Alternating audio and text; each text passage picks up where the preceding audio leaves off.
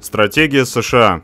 28 февраля официальный представитель Пентагона, капитан ВМС Джефф Дэвис, заявил о том, что министр обороны США Джим Мэттис представил предварительную версию нового плана по разгрому ИГИЛ в Сирии и в Ираке.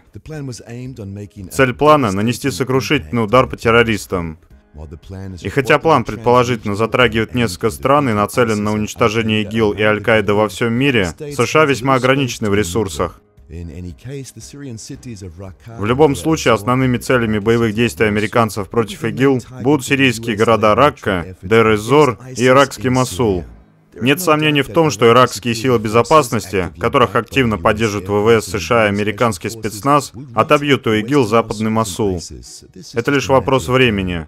Данный шаг не завершит войну с ИГИЛ в Ираке, но станет поворотной точкой смены стратегии игиловцев.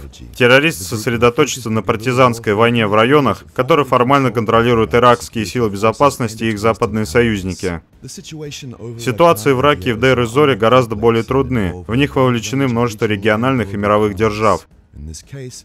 Проблема заключается в том, что если США подключат турков к операции по штурму Ракки, то это резко ухудшит отношения с сирийскими курдами, которые являются ядром и единственной боеспособной силой так называемых сирийских демократических сил.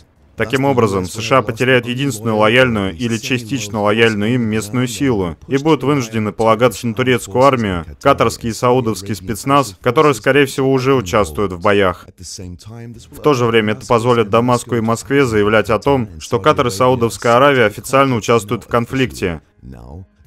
Сейчас Доха и Эр-Рияд отрицают свое фактическое участие в войне, даже несмотря на постоянную поддержку террористов в Сирии.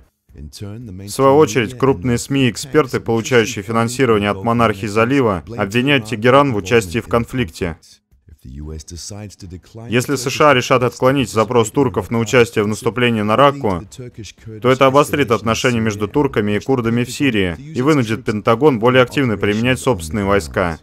В марте западнее Манбиджа прошли бои между протурецкими силами и СДС, которых поддерживают американцы. Формальное присутствие американского спецназа не помогло их курдским союзникам. Напряженная ситуация также вынудила СДС активизировать контакты с законным сирийским правительством. Представленный Мэттисом план также содержит предложение по увеличению американского военного контингента в Сирии для борьбы с ИГИЛ, что постоянно предсказывал Южный фронт. Без значительного присутствия американцев непосредственно на месте событий, СДС вряд ли смогут отбить у ИГИЛ Раку без запредельных потерь.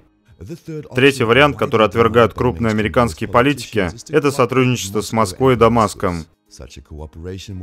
Оно приведет к быстрому разгрому ИГИЛ в Сирии, освобождению Раки и Дер-эз-Зоры. Более того, успешное наступление сирийской армии и ее союзников на ИГИЛ восточнее Алеппо и в Пальмире ясно показали то, что Тегеран, Дамаск и Москва располагают достаточными ресурсами, чтобы помогать в войне против ИГИЛ.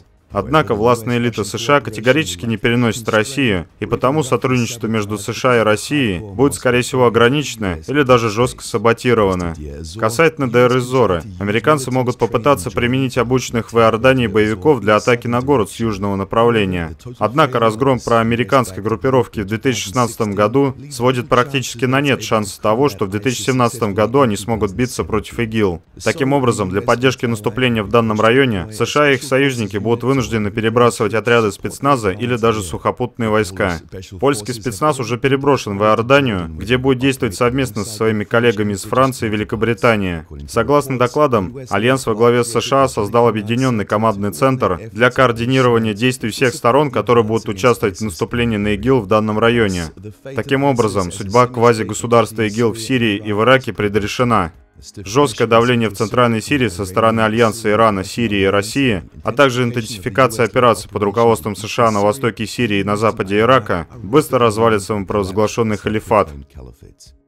Но вопрос в том, как же будут разделены сферы влияния после разгрома ИГИЛ.